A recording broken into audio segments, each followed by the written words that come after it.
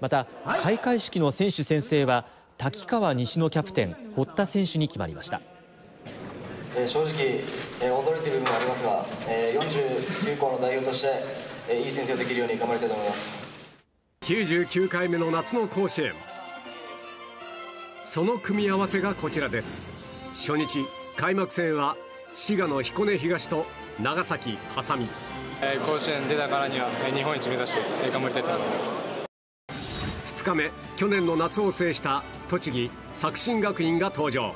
優勝旗を戻しに行きそしてまたみんなで取りにか取りに行こうというふうな目標を立てましたので一戦一戦しっかり戦っていきたいと思ってます。対する岩手盛岡大附属。その主砲上田拓は身長165センチながら大会ナンバーワン高校通算60本のホームランを放っています。とんでもない初戦ですね。どうですか？カード見た時は。もうびっくりしました。もう初初戦から、まあ、昨年の王者とやるんだっていう思ってもう燃えています。3日目11年連続出場の福島聖光学院が初出場岡山山陽と。そして4日目は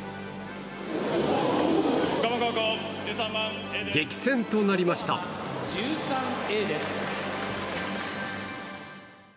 優勝候補と言われる神奈川の横浜と熊本の秀岳館が激突。19年ぶりの頂点を目指す横浜の主砲増田修神奈川大会では初となる4試合連続ホームラン。大会屈指のスラッガーです。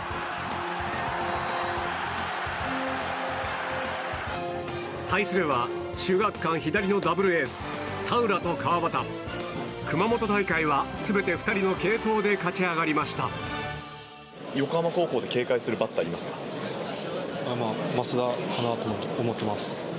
そのバッターを重点的に抑えていけば勝てると思うんで頑張っていきたいと思います。